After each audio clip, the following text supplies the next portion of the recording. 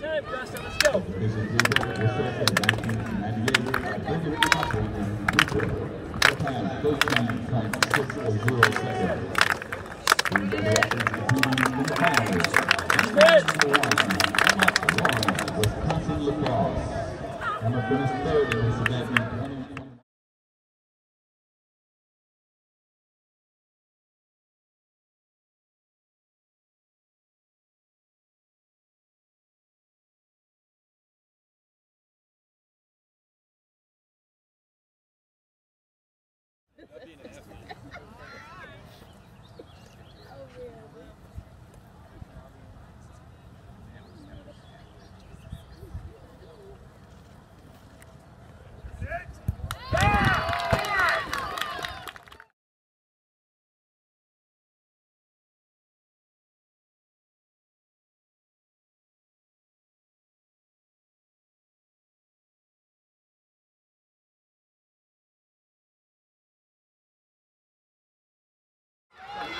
They will call it at the line. Looks like that is Isabella Ford, unofficially. Isabella